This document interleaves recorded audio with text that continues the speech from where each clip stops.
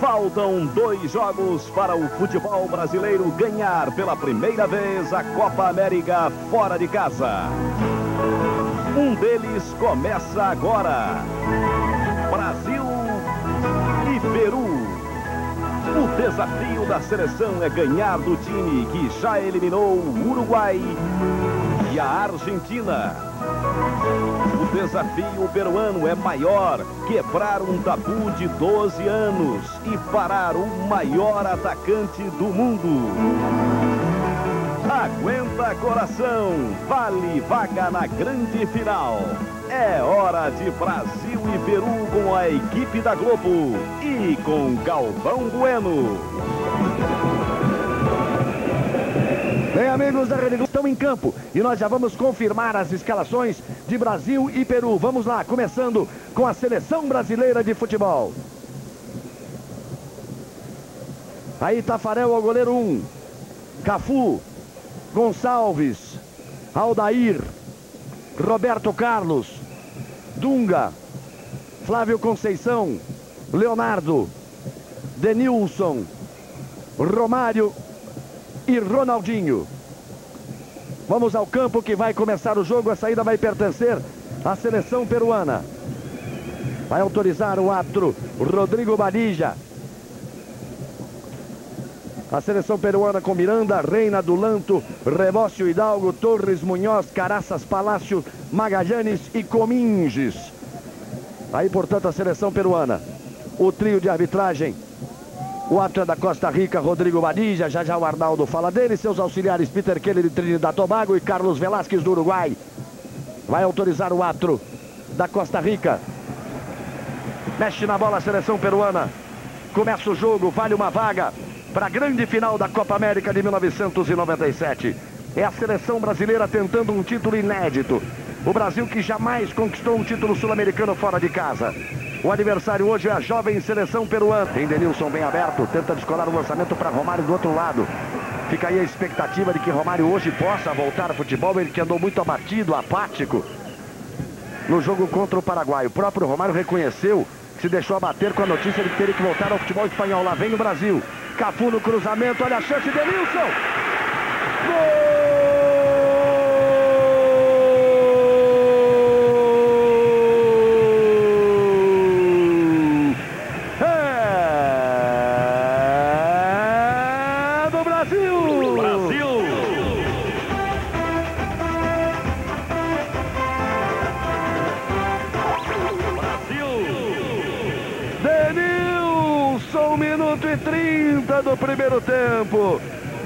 Falha do lateral direito, Reina depois do cruzamento de Cafu.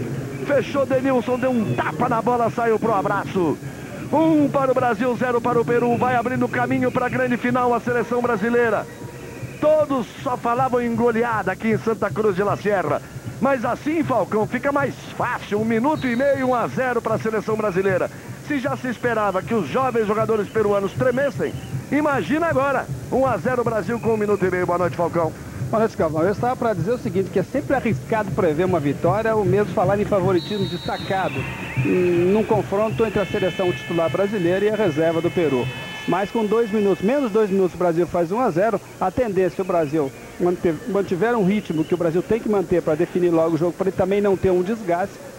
Pode ter aqui uma grande goleada, talvez a maior da Copa América, mas é muito cedo para falar nisso. Aí Leonardo tenta a jogada. E esse foi o primeiro gol do Denilson na seleção brasileira em 10 horas. Aí Roberto Tomé que vai trazer você todas as informações da seleção brasileira, Tino Marcos, com tudo sobre a seleção peruana. Aí Flávio Conceição. Estão no meio campo. Olha a abertura para Romário, o baixinho recebe, ele promete gols hoje, promete uma grande partida, mas o toque errado. Roberto Carlos vem na marcação. Habilidoso, jogador número 17, Caraças. O Reina tá apavorado, tem 25 anos, não é tão novo assim não. Já falhou no gol, entregou mais uma. Caraças, o Cafu, partiu Ronaldinho. Ainda Romário. Trabalha no meio para Leonardo, já tem Denilson aqui pela esquerda. Aí recebe Denilson, Roberto Carlos não subiu, ele ficou sozinho. Tenta o lance individual, sete anos. Jogou muitas vezes na seleção principal. Aliás, no último jogo do Brasil contra o Peru, na Copa América em 95, o goleiro era ele. Flávio Conceição, bonito lance, perna esquerda, bateu. Caraças bateu para trás. Rodrigo Badina é conhecido do torcedor brasileiro. Apitou na Copa dos Estados Unidos, o Brasil e Holanda. 3 a 2 aquele do gol do Branco. É um ato jovem. Roberto Carlos recebe.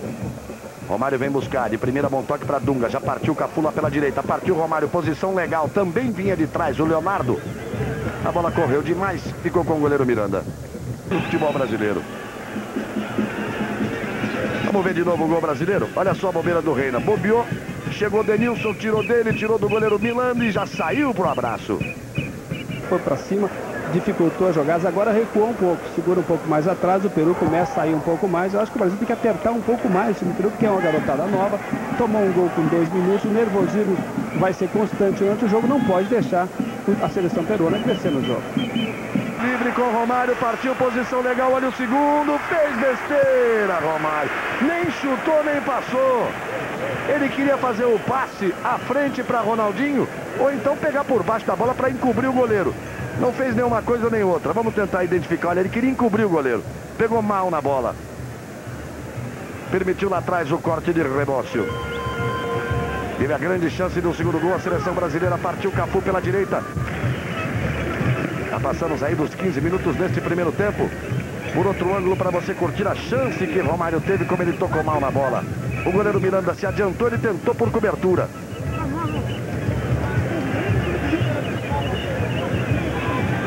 primeiro escanteio do jogo e favorecendo a seleção brasileira. Romário, Leonardo vai para a cobrança. Você está vendo o Miranda. Do lado direito, justamente trabalhar com o Cafu essa bola, mas tem dificuldade natural de quem trabalha melhor com o pé esquerdo. Isso, ó. E o Brasil já vai à luta de novo. A jogada pelo meio com o Leonardo. Cafu já partiu da esquerda. Romário dominou, girou, tocou para Cafu. Subiu a bandeira de Carlos Velasquez no Uruguai. Marcando o impedimento. Cafu partiu lá pela direita. Primeiro Ronaldinho. Voltou com Dunga, já olhou para o Cafu do outro lado. Ótimo lançamento para Romário, como ele gosta. Leonardo lá no meio, tá aí o Romário, tentou a finta, se enrolou, se atrapalhou todo. A bola foi pela linha de fundo. Se enrolou todo da bola o baixinho. Aí olha a câmera exclusiva da Globo mostrando para você como ele se atrapalhou toda. A bola pegou no pé direito, no calcanhar esquerdo, no calcanhar direito, deu um nó nas pernas do Romário e foi pela linha de fundo. Por outro ângulo para você curtir.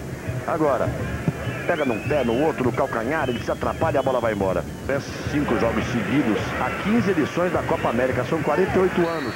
A entrada de bola para Romário, saiu Miranda para fazer o gol. E agora nós já temos aí a vitória. Vitórias em cima de Costa Rica, México Colômbia, Paraguai seria a quinta vitória consecutiva. Você viu o jogador brasileiro atingindo o rosto do peruano. Lá vem o Brasil de novo. Ronaldinho, cruzamento para Romário, sai muito forte. Esse próximo jogo para o Brasil é sempre a grande final. Aí o lançamento para Romário, sai do gol Miranda. Faz graça na frente do Romário. Saiu jogando lá com o Rebócio. Tenta partir na velocidade, ainda ele, enfiada de bola para Romário, partiu baixinho do jeitinho que ele gosta. Levou vantagem, foi pro chão, pediu o pênalti, o juiz disse que não houve. Tava a impressão que o Romário ia levando vantagem na jogada. Vamos ver aí a câmera exclusiva da Globo mostrando para você o detalhe, como sempre. O Romário vai, vai, vai e cai, Arnaldo. A imagem foi bem clara, veja nesse ângulo agora. Ele tropeça nele mesmo e cai, não houve nada, não houve pênalti, o juiz está certo sentiu que ia perder a jogada, que a bola ia passando, que o bom momento para finalização ia passando, desabou o Romário. Mas as câmeras da Globo sempre trazem todos os detalhes para você. Quem tem Globo tem tudo. Kaiser faz de qualquer jogo um grande clássico. Você viu ali como os dois se empurraram, chegou até a erguer o pé o jogador peruano, mas não houve alavanca ali em cima do Romário. Pro ponto 3, V6.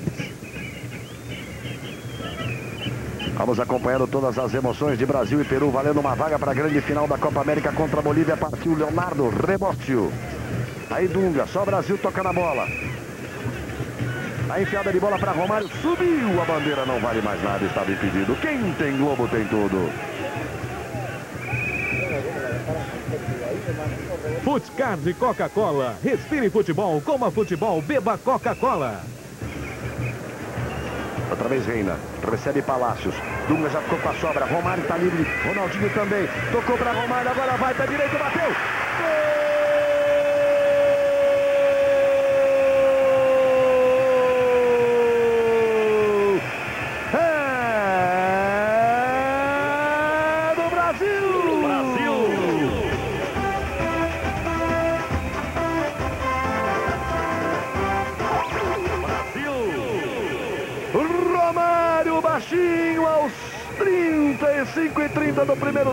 De bico na bola.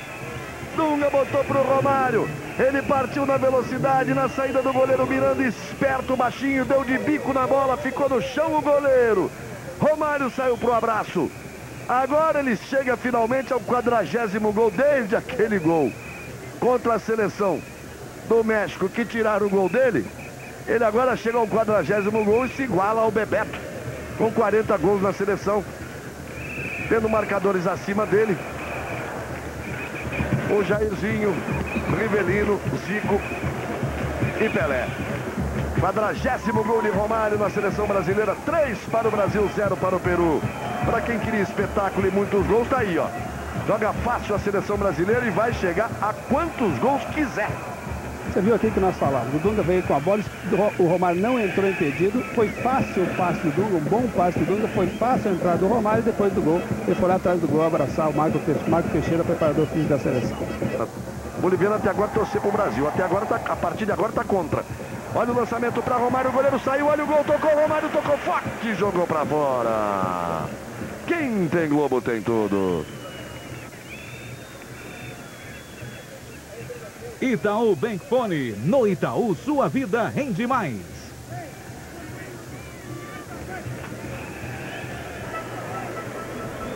Aí o Palácios.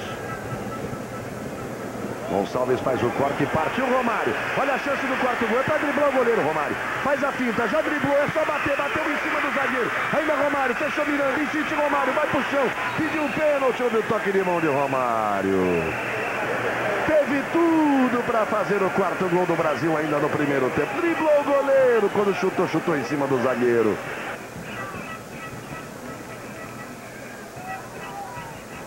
Raider, férias para os pés. Você viu ali a malandragem do Romário quando o goleiro encostou a mão na canela do Romário, ele desabou inteiro.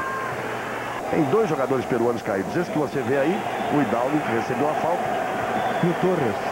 E o Torres também caído e a repetição do lance. Houve pênalti aí, Arnaldo? Não, não houve nada. O Romário foi e dobrou o joelho, cavando o pênalti. Quando o jogador dobra o joelho é porque não houve pênalti.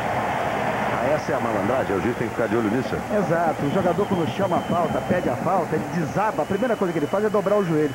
O juiz que conhece não marca a pênalti. Você podia ter me falado isso quando eu jogava, né, não? 41 minutos. Moda mesmo.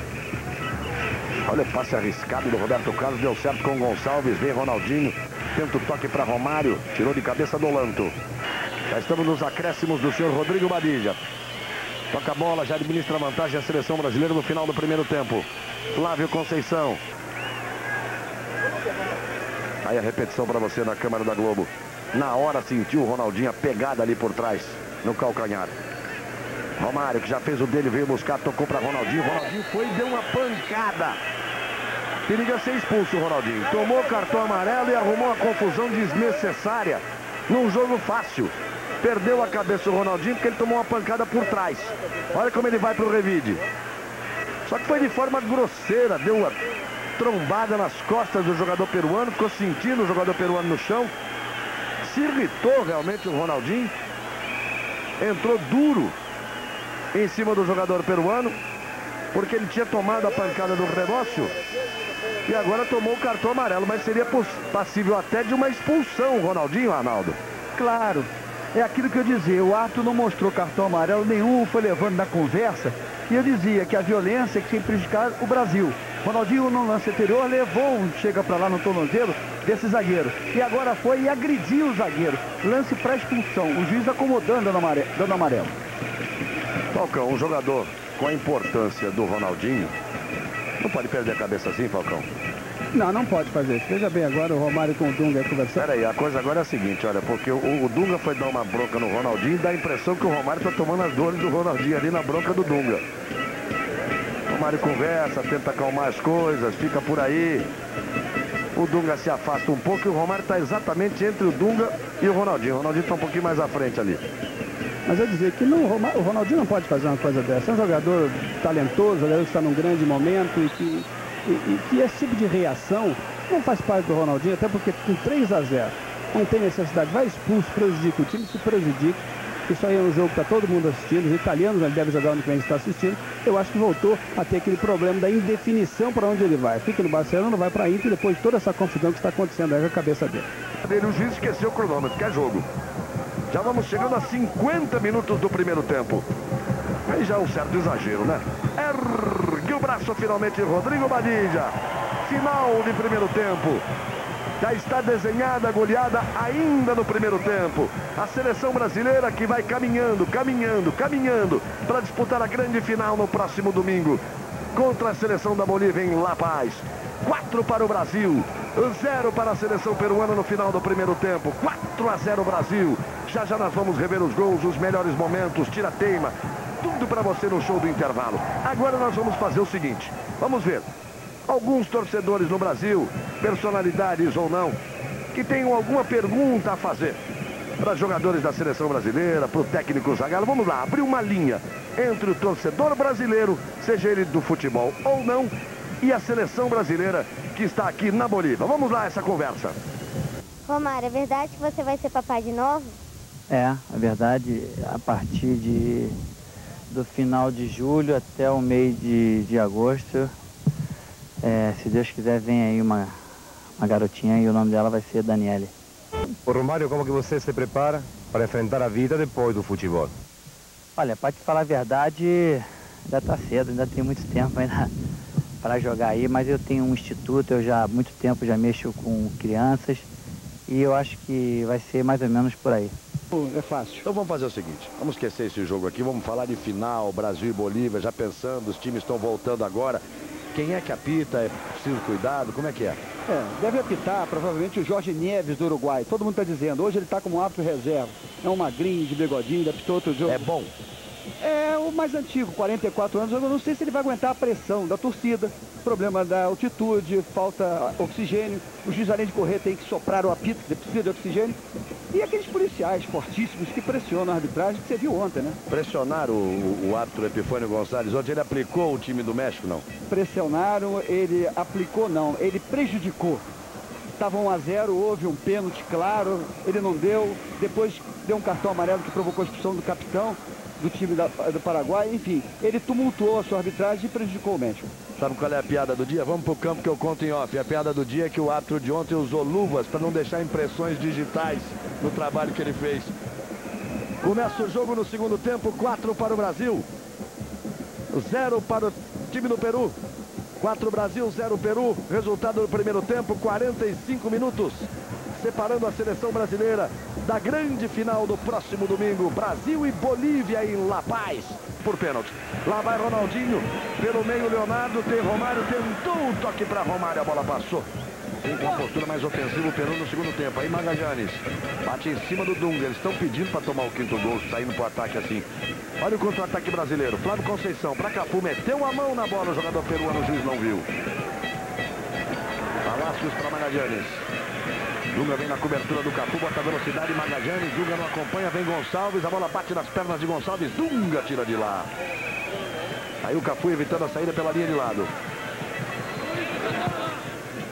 Lançamento para Ronaldinho, ele domina bonito, deixa no chão. Partiu Denilson do outro lado, tocou bem para Romário, é só bater de pé direito, bateu Romário!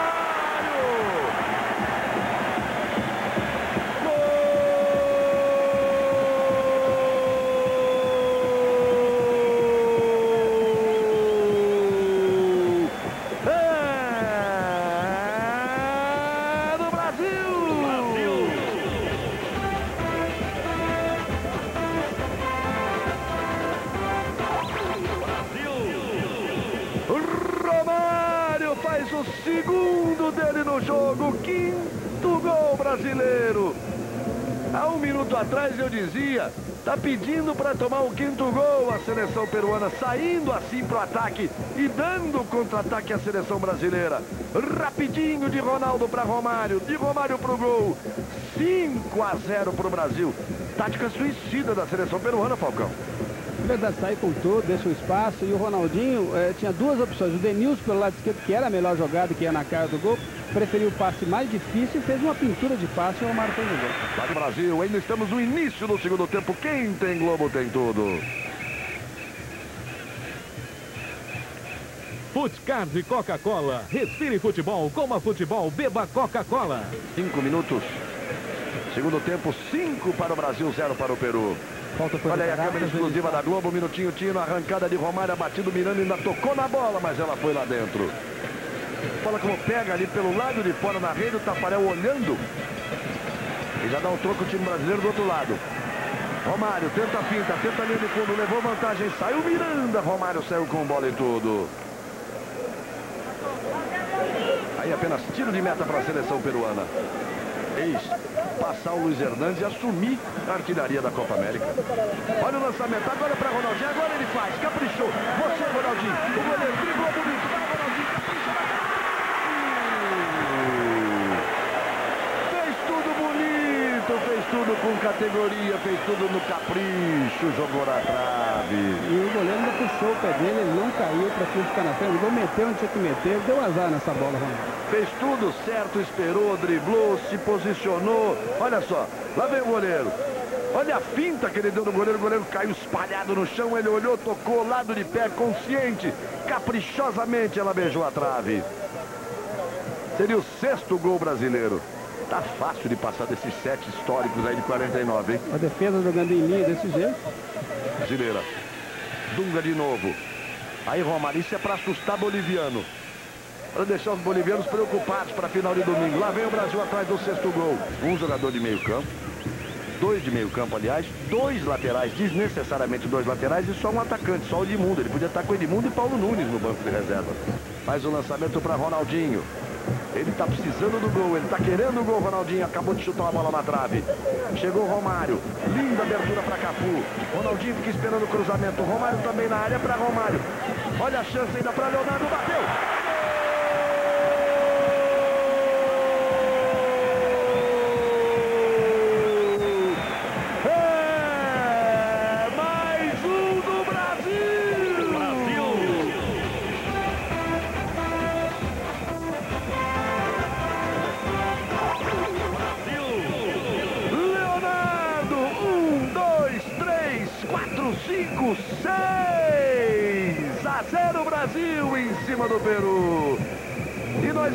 Apenas aos 11 minutos do segundo tempo. Vá anotando aí, não perca a conta não.